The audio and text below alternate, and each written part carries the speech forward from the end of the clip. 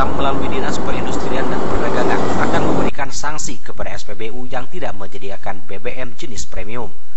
Keputusan ini merupakan kesepakatan Disperindak, Pertamina, pengelola SPBU dan instansi terkait yang mewajibkan SPBU kembali menjual BBM jenis premium setelah mengalami kelangkaan di akhir tahun 2020 lalu. Kepala Dinas Perindustrian dan Perdagangan Kota Batam, Gustian Riau mengatakan, kuota premium untuk satu tahun di Kota Batam cukup. Seperti di tahun 2020, kelangkaan terjadi karena Pertamina membatasi penjualan BBM jenis premium. Di tahun 2020 ini Kota Batam mendapat tambahan jatah premium 10% dari kuota tahun 2020. Karena itu, Disperindak mewajibkan SPBU menjual BBM jenis premium. Jika tidak menjual premium Pemko Batam akan merekomendasikan SPBU tersebut ditutup serta diproses sesuai dengan peraturan yang berlaku.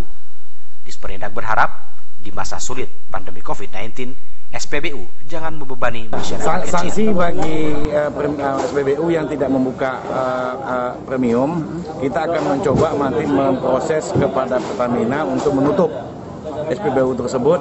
Yang kedua akan memberikan sanksi sesuai dengan aturan yang berlaku. Maka kita akan gedung otot itu. Kenapa?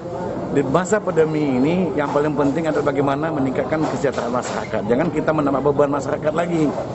Apalagi dengan penambahan beli mobil, minyak mobil dari Pertalite 92. Masyarakat sudah susah, kenapa kita susahkan gitu. Nah inilah langkah-langkah kita gitu. Untuk pengelolaan distribusi premium, Disperindak akan memperlakukan kartu kendali sama halnya dengan BBM jenis solar yang sudah berjalan dari tahun lalu.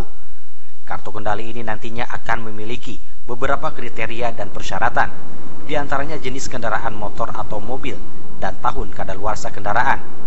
Kendaraan umum dan pribadi juga akan dibedakan.